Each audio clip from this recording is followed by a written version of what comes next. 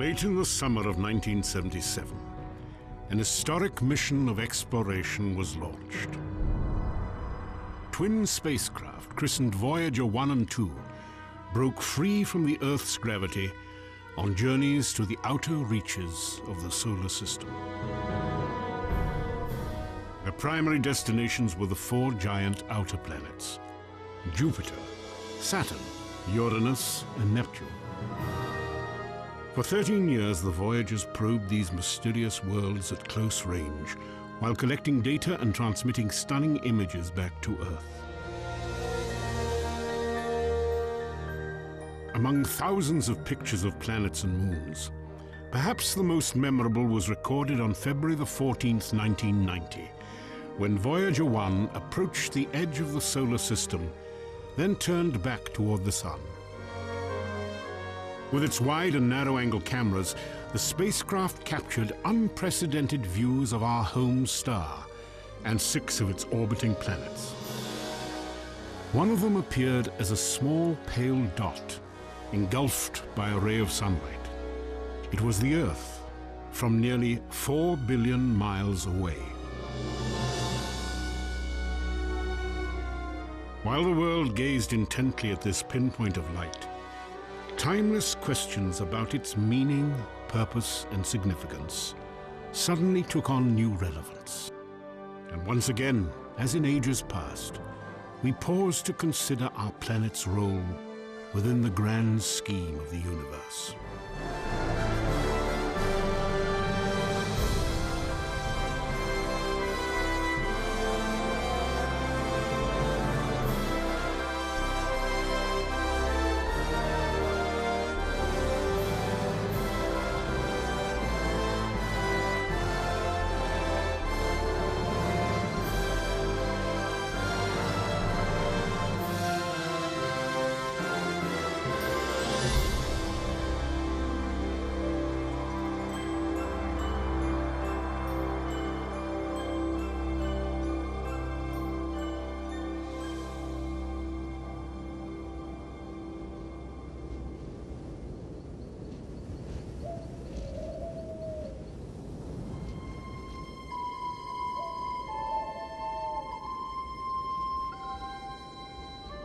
Mystery of the Earth's significance in the universe has challenged philosophy and science for more than 2,000 years. Early perceptions were shaped by the work of the Greek scholars Aristotle and Ptolemy. They taught that the Earth sat motionless in the center of the heavens while the moon, sun, and other stars and planets revolved around it. This geocentric view was the foundation of Western cosmology for 18 centuries. Then, in 1543, the Polish astronomer Nicholas Copernicus ignited a revolution. In his book on the revolutions of the heavenly spheres, Copernicus argued that the Earth was not stationary, but instead orbited with the other planets around the Sun. For the first time, a correct understanding of the mechanics and structure of the solar system was in sight.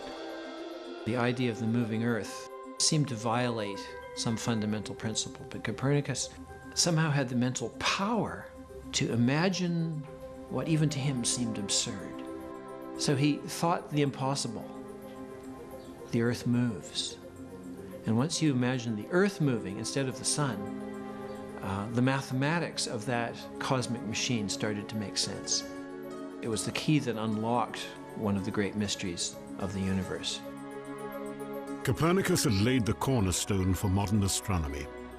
Yet, 400 years after his discovery, the empirical fact that our planet was not the center of the solar system had evolved into what is now known as the Copernican principle. The idea that the Earth occupies no preferred place in the universe. Copernicus had a theoretical way of explaining the apparent motion of the planets across the sky. That's all it was. It wasn't a theory that told us whether or not Earth was special, or whether we played some importance in the scheme of things, or whether every place in the universe was the same as every other place. Nevertheless, this reinterpretation of Copernicus became prominent in the 20th century. It's often called the principle of mediocrity. This principle says that our location and our status are mediocre, they're unexceptional. As a result, we should not assume that we are in any way privileged or that the universe was designed with us or beings like us in mind. The Copernican principle and the concept of the Earth's insignificance was popularized during the 1970s and 80s by the late astronomer Carl Sagan. In his best-selling book, Pale Blue Dot, Sagan wrote, Because of the reflection of sunlight, the Earth seems to be sitting in a beam of light, as if there were some special significance to this small world. But it's just an accident of geometry and optics. Look again at that dot. That's here. That's home. That's us. Our posturings, our imagined self importance, the delusion that we have some privileged position in the universe are challenged by this point of pale light. Our planet is a lonely speck in the great enveloping cosmic dark.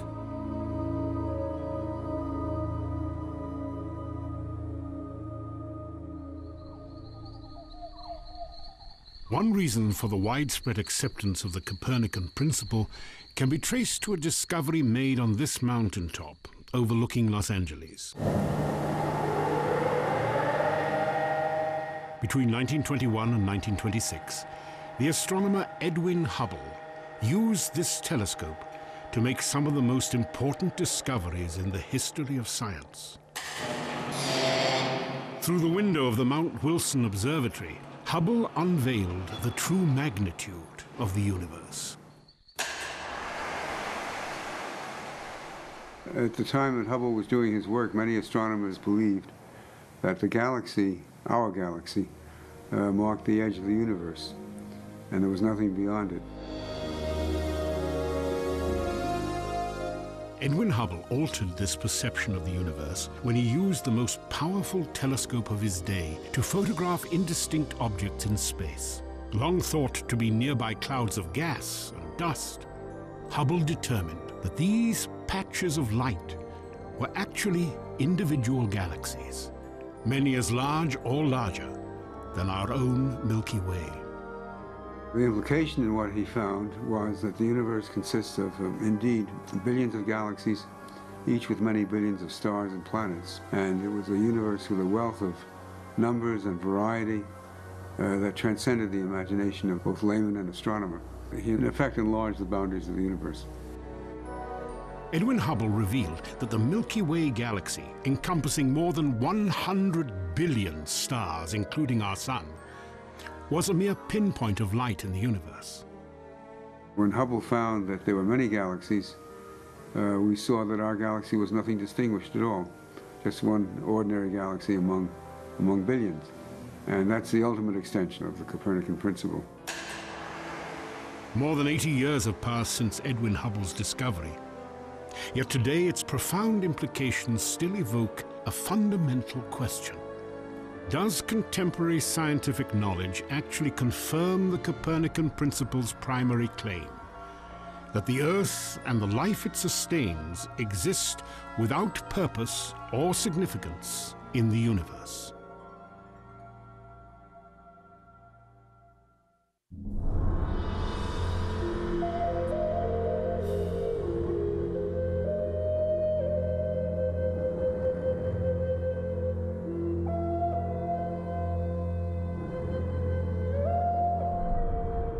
An outgrowth of the Copernican principle is the belief that habitable planets and complex life are abundant throughout our galaxy and the rest of the cosmos. Perhaps no scientific endeavor has been influenced more deeply by this idea than the research program called SETI. Well, SETI, which is, of course, the search for extraterrestrial intelligence, is trying to do exactly that. We're searching for extraterrestrial intelligence. In other words, we're looking for aliens that are at least as clever as we are. Now, we try and do that not by trying to go there the way they do in the movies all the time or waiting for them to come here. We try and find the aliens, if you will, at home on the basis of eavesdropping on signals they might be sending our way. So we use large telescopes pointed at other star systems to try and find these telltale signs that there's some cosmic company out there. Since 1960, SETI researchers have utilized radio telescopes throughout the world to monitor transmissions from distant regions of the Milky Way. While no definitive signs of intelligent life have ever been detected, these investigations have triggered much speculation about the possibility of extraterrestrial civilizations. Estimates vary all over the place. Carl Sagan thought there might be millions of civilizations that are kind of contemporaries of ours. I can imagine that within the Milky Way galaxy, the number of contemporary intelligent civilizations, I think is probably in the thousands, maybe hundreds of thousands. But the bottom line, actually, when people ask, well, why do you think that they're out there, is that the universe is extraordinarily rich, extraordinarily vast. The number of stars that we can see, it's on the order of 10,000 billion billion star systems. So unless there's something very, very special, miraculous, if you will, about our solar system, about our planet Earth, unless there's something extraordinarily unusual about it, then what happened here must have happened many times uh, in, in, the history of, of the universe. The assumption that habitable planets and extraterrestrial life are abundant has inspired not only the SETI program, but also the new science of astrobiology and the search for biological evidence of living organisms, past and present. Since 1995, this search has extended beyond our solar system as astrobiologists have identified more than 100 planets orbiting nearby stars. Each of them is a gas giant, much like Jupiter. While few scientists believe that these alien worlds can sustain even simple life, their discoveries represent important steps toward answering a question that will shape astronomy in the 21st century. Are habitable planets rare or common in the universe? I'm an astrobiologist, and the area that I've done the most work in lately is the field of extrasolar planets. What motivates me is just to examine the conditions necessary for life and look elsewhere in the universe and see if those conditions are met anywhere else. And the answer could be yes, and the answer could be no, and either answer is interesting. Guillermo Gonzalez works as a research scientist in NASA's astrobiology program. His interest in this field is tied to his early fascination with the prospect of life beyond the Earth. I grew up in the 1960s, and like most other people of my generation, I was really amazed by the Apollo lunar landings, and uh, that really inspired me and, uh, and had something to do with my getting interested in astronomy.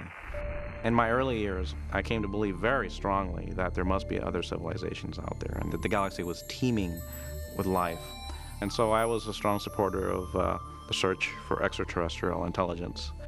My belief wasn't based on any real hardcore scientific arguments. It was just the impression that I had that the galaxy was such a big place. And I didn't give the other side of the equation much thought. In other words, there's two sides of the equation. There's the number of stars, the number of trials, if you will. But the other side is the factors. It takes a lot of factors to have a habitable planet in a planetary system. For Gonzalez and other astrobiologists, these factors, required for the Earth's habitability, became the focus of extensive research.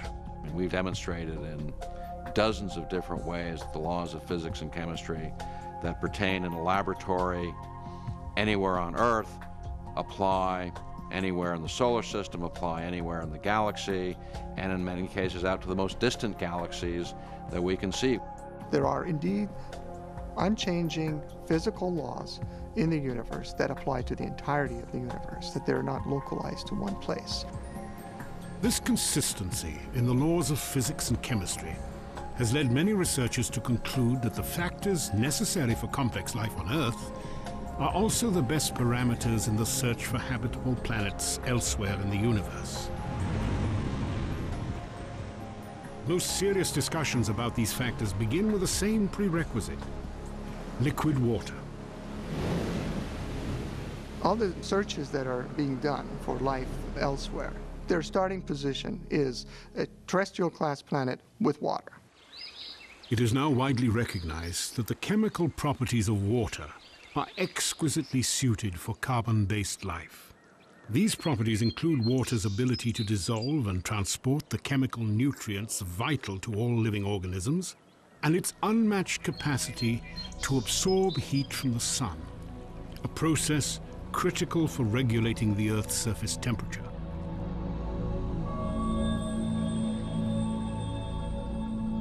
In liquid form, water is an extraordinary substance, and its existence hinges upon another factor essential to complex life, a planet's distance from its home star. It's like what they say in real estate, location, location, location. A habitable planet lives in what we call the Goldilocks zone. It's not too hot, it's not too cold, it's just right. And when I say just right, I mean just right for water. Liquid water really helps define the habitable zone. If it's too hot, again, the water just boils away. You just can't get condensed water. It's too cold, as in Mars today, it freezes out. Within our solar system, the habitable zone is relatively narrow, beginning well outside the orbit of Venus and ending short of the orbit of Mars. If the Earth were just 5% closer to the Sun, it would be subject to the same fate as Venus a runaway greenhouse effect with temperatures rising to nearly 900 degrees Fahrenheit. Conversely, if the Earth were 20% farther from its home star, carbon dioxide clouds would form in its upper atmosphere, initiating the cycle of ice and cold that has sterilized Mars. The presence of liquid water is a necessary condition for life, but it's not a sufficient condition. After all, there may be liquid water under the frozen surfaces of Mars and Jupiter's moon Europa, but there's very little chance that complex life exists in either of these places. You see, contrary to what the Copernican principle might suggest, the recipe for life is much more complex than just add water. If a recipe for a planet capable of supporting complex life really did exist, then what ingredients, beyond liquid water, might be required? the list of necessary factors continues to grow. We live on this paper-thin crust. If the Earth's crust were significantly thicker, then plate tectonic recycling could not take place. The Earth's crust varies in thickness from about 4 to 30 miles. It consists of more than a dozen tectonic plates that are in constant motion. This dynamic geology regulates the planet's interior temperature, recycles carbon, mixes chemical elements essential to living organisms, and shapes the continents. Deep within the Earth's interior, the movement of liquid iron generates a protective magnetic field essential to complex life. If our planet was smaller, its magnetic field would be weaker, allowing the solar wind to strip away our atmosphere, slowly transforming the Earth into a dead, barren world much like Mars.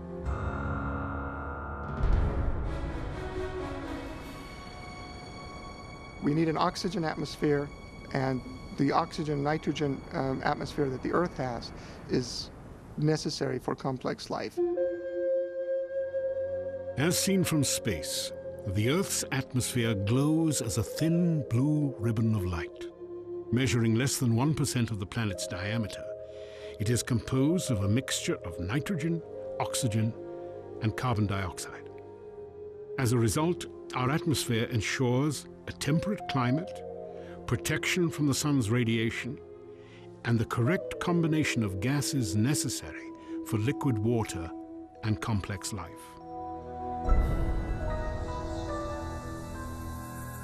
For a size of planet like Earth, our moon is big. The current thinking is that if our moon didn't exist, neither would we. One fourth the size of the Earth, the moon's powerful gravitational pull stabilizes the angle of its axis at a nearly constant 23.5 degrees. This ensures relatively temperate seasonal changes, and the only climate in the solar system mild enough to sustain complex living organisms. If we find life out there, especially complex or even intelligent life, it will be around a star similar to our own. We orbit what is known as a spectral type G2 dwarf main sequence star. It is well suited for our needs. If the Sun were less massive, like 90% of the stars in the galaxy, the habitable zone would be smaller. To remain within its boundaries, the Earth would have to be positioned closer to its star. Here, increased gravity would lock our planet's rotation into synchronization with its orbit.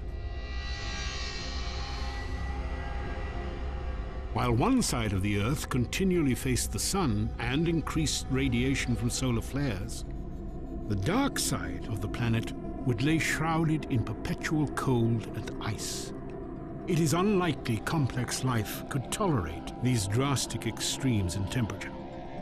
A lot of things went right on Earth to have uh, yielded complex life, absolutely. The number of factors that have been postulated um, has grown. Currently, the typical number you would see is in a typical list would have something like 20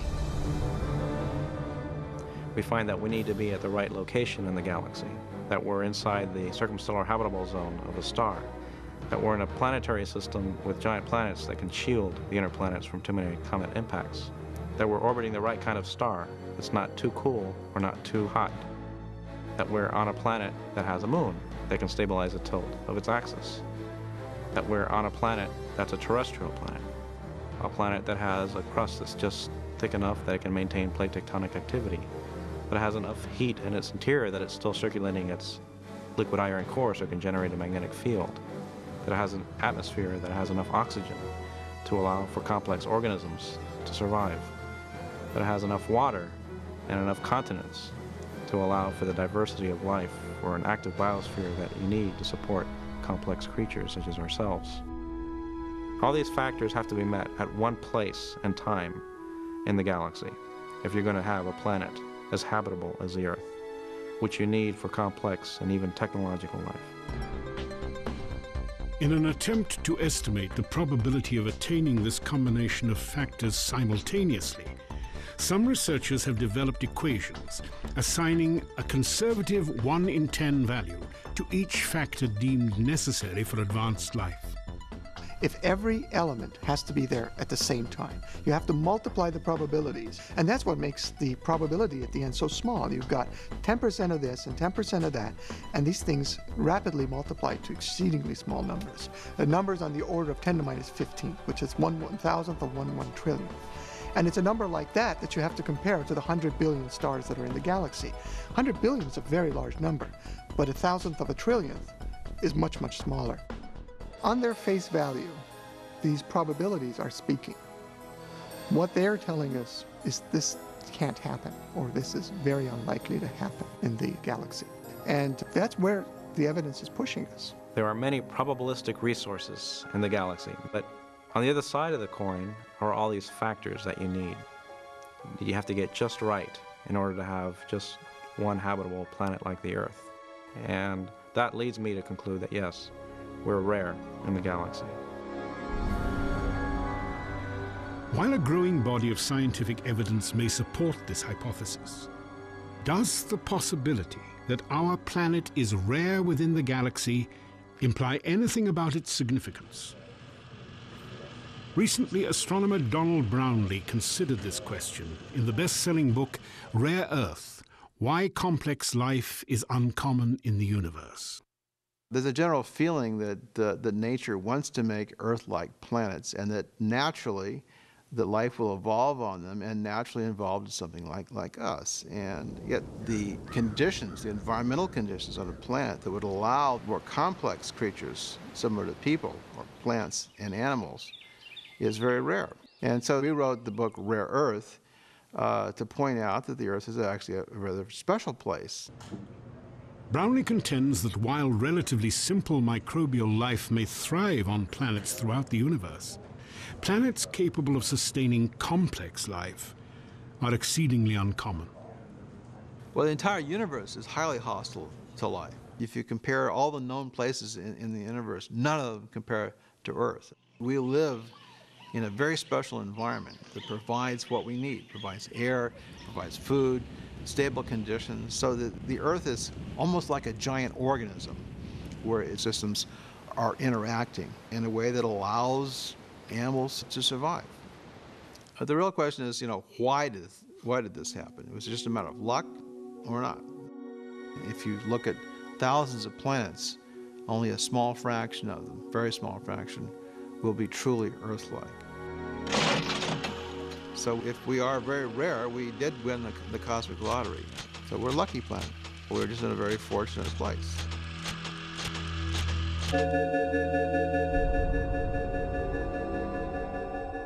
When you consider chance as an explanation for a planet like Earth, you have to look at it in the context of the universe as a whole. While the odds appear astonishingly small that you'd get all the right ingredients to support complex life at this one place in the galaxy, you have to keep in mind that our galaxy is just one of perhaps 100 billion galaxies in the observable universe. Still, logically, I think you have to ask yourself, what if this convergence of factors didn't come about as the result of simply a cosmic lottery or a mere fluke or luck, but what if it's the result of some larger underlying purpose or design? And if the Earth does exist for a purpose, is there any way that we could tell? On October the 24th, 1995, a rare natural phenomenon unexpectedly triggered a unique search for an answer.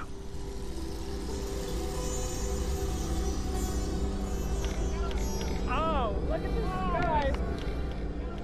It started with an experience I had in 1995. I went to observe a total eclipse of the sun in India. It was my first and still only total eclipse of the sun. It was a spectacular event. It's just an experience for all the emotions.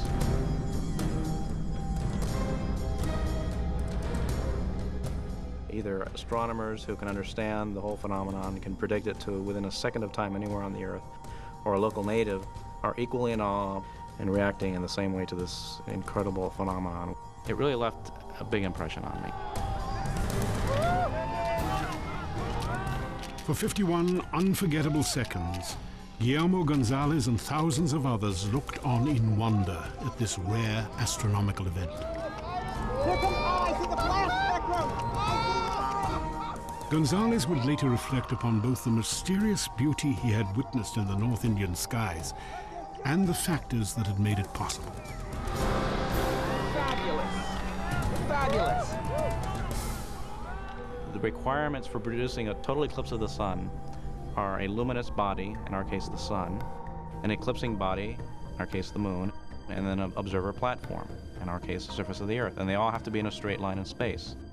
The apparent size of the moon in the sky has to be almost exactly the same as the apparent size of the sun in the sky. They're both about half a degree. The sun is 400 times bigger than the moon, but it's 400 times further away. So there's this coincidence people have noted for centuries, but they just say, oh, well, it's a coincidence and shrug their shoulders. As Gonzalez examined this rare alignment of sun, moon, and earth, he recognized the importance of these celestial bodies to the existence of complex life on our planet. The gravitational pull exerted by our moon, for example, is strong enough to regulate the Earth's climate by stabilizing its tilt and helping to circulate the warm and cold waters of its oceans while our planet's distance from the Sun permits both liquid water and an oxygen-rich atmosphere. You have to have the right distance of the observer's home planet from its host star.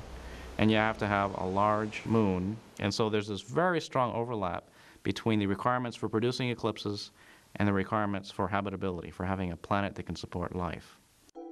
In 1999, Gonzalez described this relationship between our survival and our ability to observe solar eclipses in the journal Astronomy and Geophysics. His ideas intrigued philosopher Jay Richards. I've been focusing my research in cosmology and in particular on applying probability theory to the fine-tuning of the laws of physics. I had a strong sense that this evidence pointed towards some sort of wider purpose to the universe.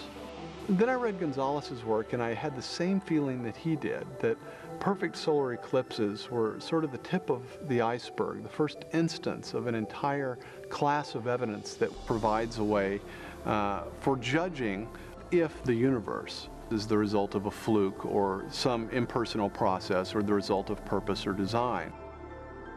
In the summer of 1999, Gonzalez and Richards initiated a program of joint research. They began their study by considering a characteristic of solar eclipses little known outside the scientific community. These striking events are not only compelling to observe, they also open a portal onto the physics and chemistry of the entire universe. Really, you can think of eclipses as a giant natural experiment uh, set up that allows us to observe a part of the sun that's critical towards understanding how its light is produced in its atmosphere. The fact that the Earth is going around the sun and the moon is around the earth and the sizes and the distances between the earth and the moon and the sun are just so to give you a perfect solar eclipse is a wondrous thing because it allows us to measure the constituents of the upper layers of the sun's atmosphere. During a solar eclipse, the moon fits so perfectly over the sun that it shields its blinding light, providing astronomers with a view of the star's atmosphere otherwise impossible to experience. At the moment of totality, the pinkish arc of the chromosphere, the atmosphere's innermost layer, becomes visible, and with it a rainbow-like band called the flash spectrum appears when the sun is viewed through a prism. The eclipse of 1870 led to an understanding of the structure of the sun's chromosphere and the discovery of helium, the second most abundant element in the universe. The spectrum is probably the single greatest source of information about a star. And it was during a couple of historic eclipses in the 19th century that astronomers figure out how the spectrum of the sun is produced. And they only were able to figure it out because of the particular circumstances during a total eclipse. These circumstances are both precise and crucial. If our moon was slightly larger, it would partially block our view of the chromosphere and diminish its spectral light. A smaller moon would allow too much light from the sun, destroying our view of the solar atmosphere and the flash spectrum. And so you have to have a nearly perfect match between the sun and the moon so you don't hide the chromosphere. And that insight afforded by eclipses in the 19th century is what finally permitted astronomers to figure out how the spectra of distant stars are produced. Really, that opened up stellar astrophysics and allowed us to understand how other stars work. Because distant stars, after all, are other suns.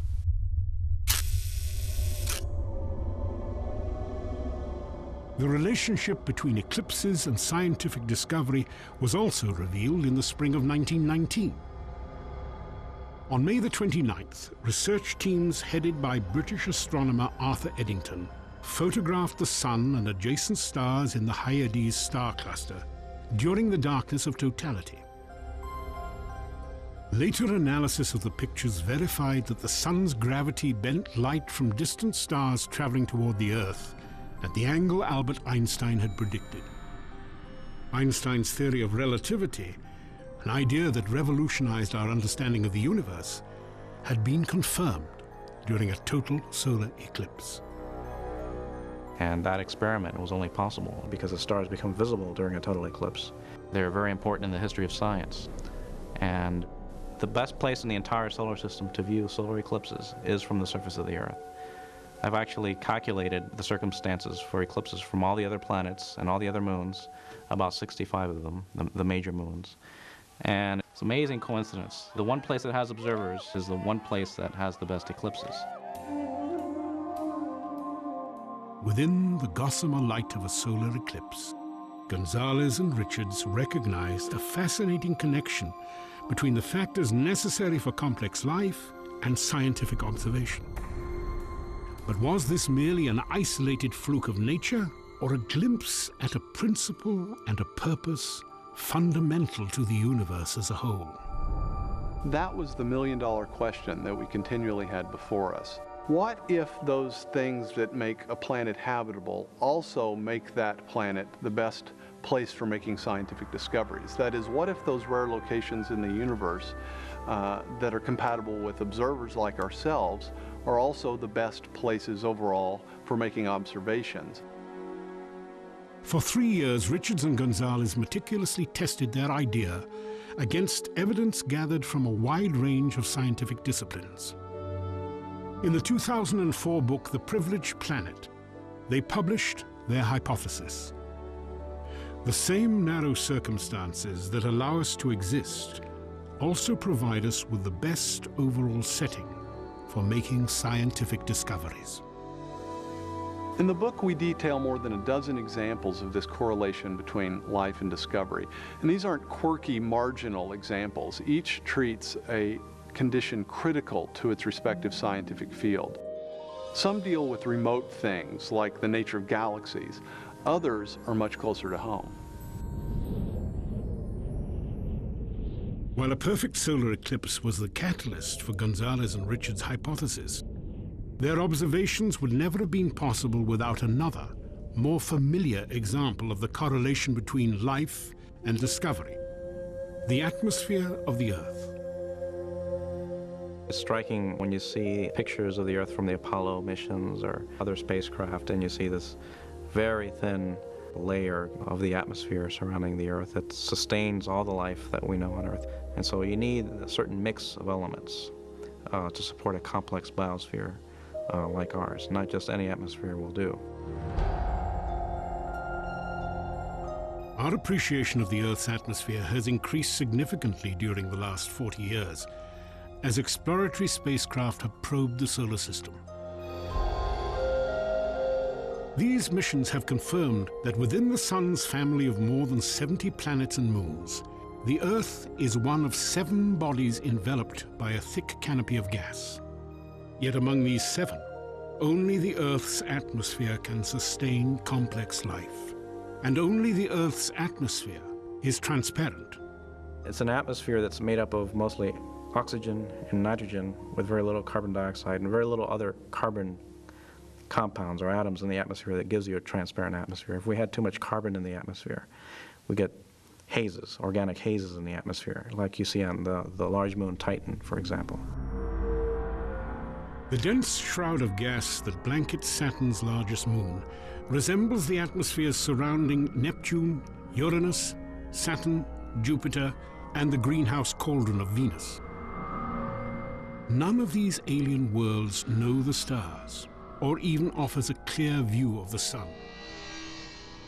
Now, of course, if you were suddenly transported to Titan or Venus or to one of the outlying gas giant planets, the lack of a clear view of the universe wouldn't be much of an issue because you'd be dead. But that's precisely the point. If we're right, if the conditions for habitability and scientific discovery appear in the same places, then you're going to get conditions like you do on Earth an atmosphere that sustains complex life like ourselves and also enables scientific discovery of the universe around us. The virtues of such an atmosphere are continually tested. As the Earth moves through space, it is bombarded by radiation from throughout the universe. This radiation is emitted by the Sun and other celestial objects including supernovas and distant galaxies. It reaches our planet in wavelengths described as gamma, X-ray, ultraviolet, visible, infrared, microwave, and radio. Together, they comprise the electromagnetic spectrum. Almost all of these wavelengths are invisible to the eye and either lethal or useless to organic life. Yet within this spectrum of frequencies, a thin sliver of radiation proves essential to plants, animals, and human beings. In other words, there's really just a very narrow part of the electromagnetic spectrum that's going to be useful for living processes like photosynthesis. It's not as if life could have evolved to use gamma radiation or X-ray radiation or something like that. There's really just a narrow part of the spectrum that would be useful to life processes. Well, as it turns out, that's also the same narrow part of the spectrum that is the most informative about the various structures that we discover in the universe around us. These specific frequencies that enable plants to manufacture food and astronomers to observe the cosmos represent less than one trillionth of a trillionth of the universe's range of natural electromagnetic emissions. Fortunately, it is the type of light our sun produces in abundance, and that most easily penetrates the filtering shield of our atmosphere to reach the surface of the Earth. It's a remarkable coincidence that the kind of atmosphere that's needed for complex life like ourselves does not preclude that life from observing the distant universe. It's a surprise. It's something that you wouldn't expect just chance to produce. Why would the universe be such that those places that are most habitable also offer the best opportunity for scientific discovery?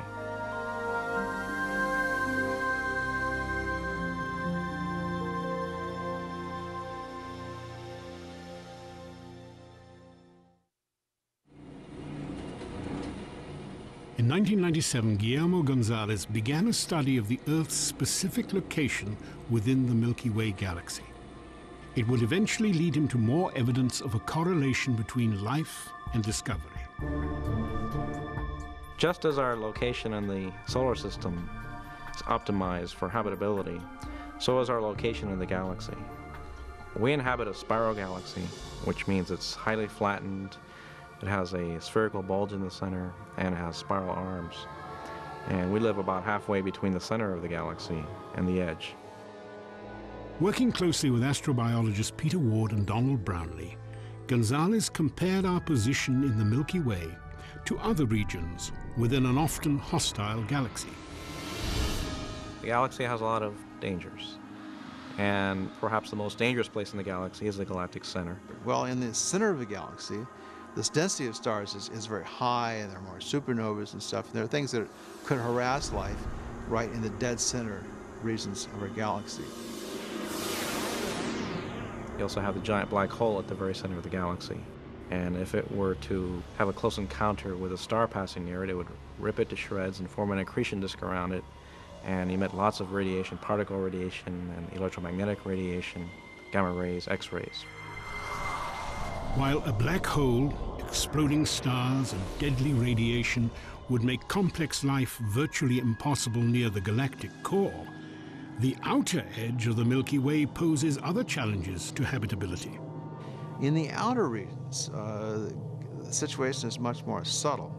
We live on a planet made out of iron, magnesium, and silicon, and oxygen. If we went in the more distant regions of our galaxy, out towards the outer, outer edge, the abundances of these elements are lower. There probably aren't enough heavy elements to build Earth-sized planets that can support life. So there's a happy median between the dangerous galactic center and the outer edge of the galaxy. Gonzalez, Brownlee, and Ward labeled this region, where complex life is possible within the Milky Way, the galactic habitable zone.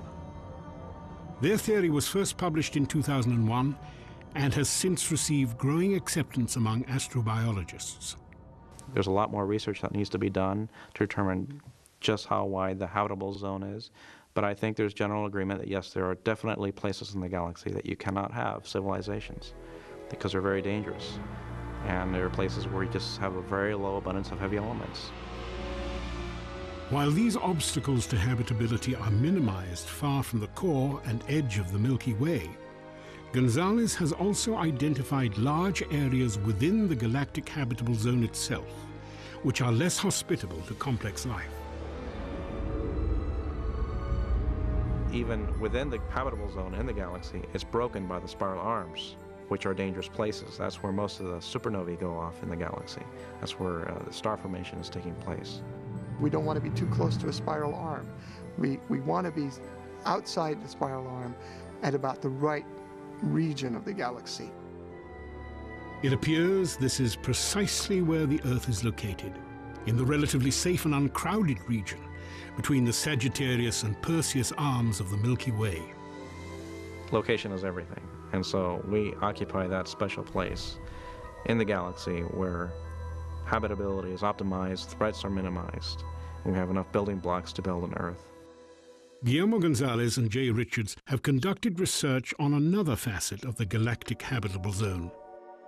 They now argue that the Earth is also located in the best setting within our galaxy for astronomical research. As it turns out, our position in the universe is not only critical for life, but it's also surprisingly important for making scientific discoveries. We're located near the midplane of the galaxy, a very highly flattened galaxy, between spiral arms in a region with very low dust extinction. While we are in the plane of the galaxy, that does not obscure a large part of the sky, so we can have very clear views. For more than a century, this nearly ideal platform of observation has enabled astronomers to study the structure of the Milky Way. Looking toward the constellation Sagittarius on a clear night, for example, we see that the stars in our galaxy are not uniformly distributed across the sky. Instead, they appear as part of a concentrated band, a flattened disk of stars, dust, and gas, 100,000 light years in diameter. The Milky Way band in the night sky is us looking edge on into the plane of the galaxy. If we were living in the center of the galaxy, things would look much more spherically distributed.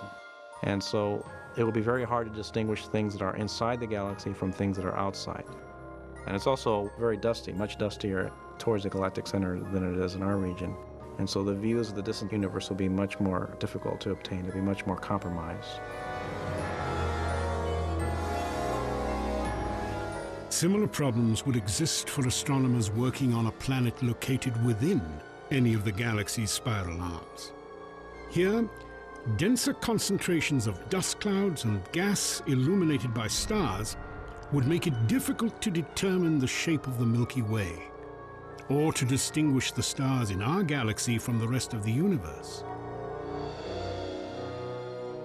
On the surface of the Earth, we're really in the optimum position for seeing both the nearby structure of the Milky Way galaxy as well as seeing the distant cosmos as a whole.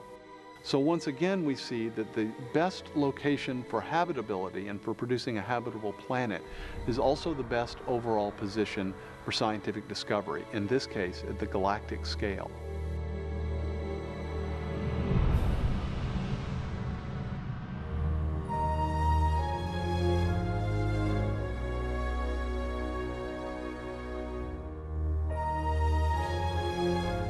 Centuries, the fact that we can discover things about the universe has really been something of a mystery.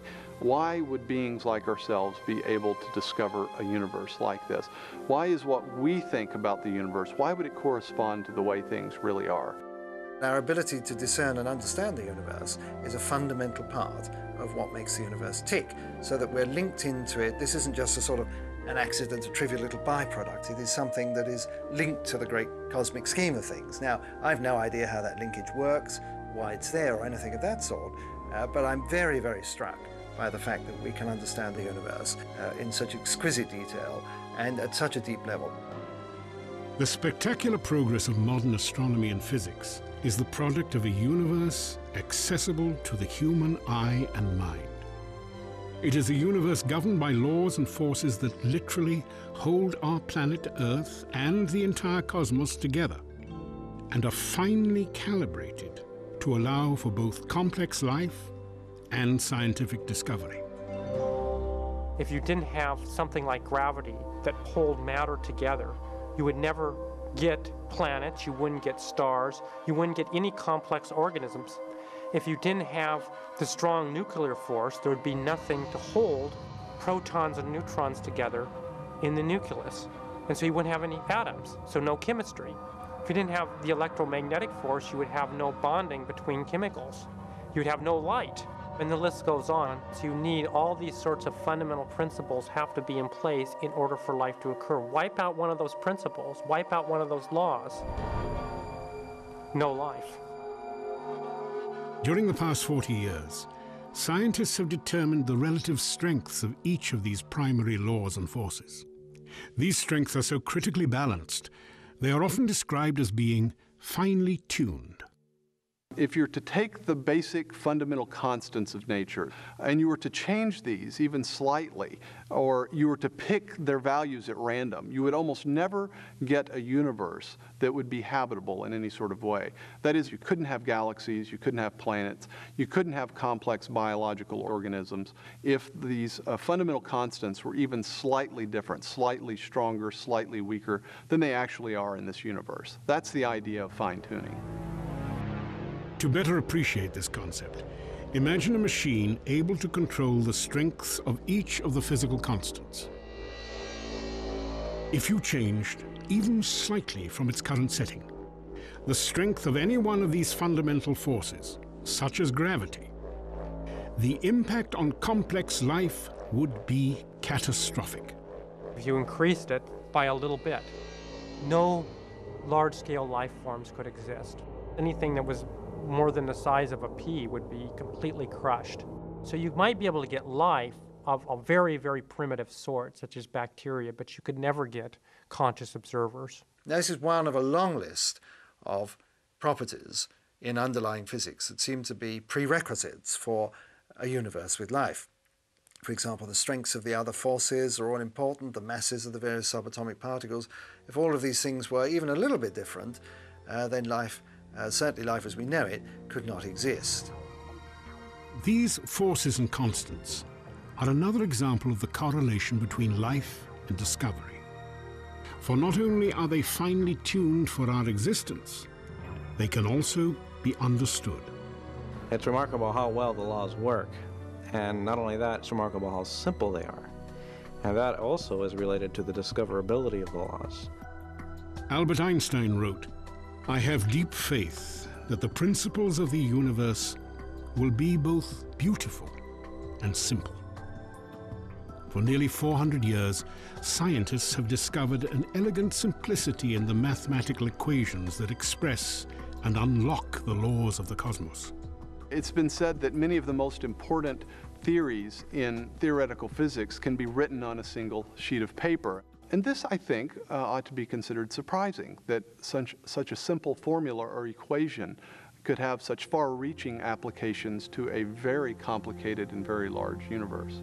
What you have is a universe that is not only finely tuned for life to occur, but also has a beautiful, elegant mathematical structure and a structure such that we can discover that structure.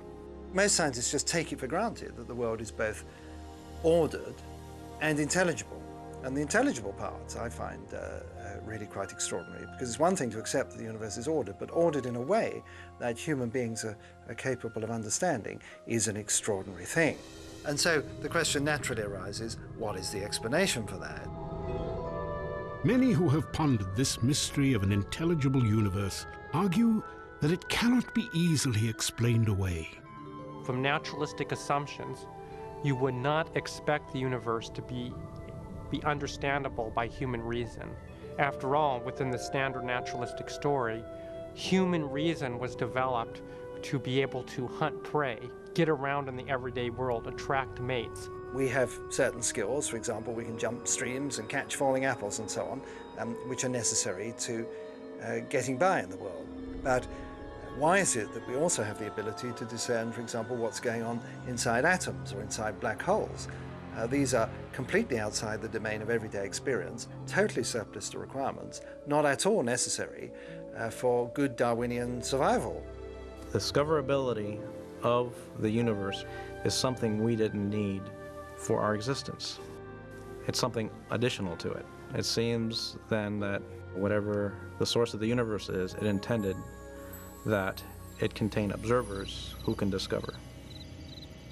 You put observers in the best places for observing. That is, if you're going to do things intelligently, that's what you do. The nature of our planet, the nature of its atmosphere, the location in the solar system, the type of solar system it's in, even the type of star that we're around and the location within the galaxy are optimal for making a wide range of scientific discoveries. It turns out that those are also all the most important conditions for a habitable planet, that is, for a planet that's conducive to beings like us and without which we could not survive. I think that's just the sort of pattern that ought to suggest to people conspiracy rather than mere coincidence. There's something about the universe that can't be simply explained just by the impersonal forces of nature and atoms colliding with atoms. And so you have to reach for something beyond the universe to try to account for it. Such an approach lies at the foundation of modern science. In his search for a more elegant description of the solar system, Nicholas Copernicus was motivated by his desire to comprehend what he called the mechanism of the universe wrought for us by a supremely good and orderly creator. The system, the best and most orderly artist of all, framed for our sake. And so he imagined this analogy of a workman, a craftsman, making something that worked well and was beautiful. And that analogy, it wasn't one of his conclusions, that analogy was one of his assumptions. The founders of modern science, like Copernicus and Kepler and Galileo and Newton himself, believed that the universe was the product of a mind, that it was intelligible to beings like ourselves because the universe itself was the product of an intelligent being. They were driven by this notion that this was essentially a theological quest. They were uncovering God's handiwork in the way the world worked. I mean, what a thought that we can glimpse the mind of God. We can actually figure out how God put the universe together. There's a, a hidden subtext in nature which can be exposed through this procedure we call science. Though most scientists no longer think in such explicitly theological terms, recent evidence may again point to an Earth far different from the contemporary image of a pale blue dot lost in a cosmic sea.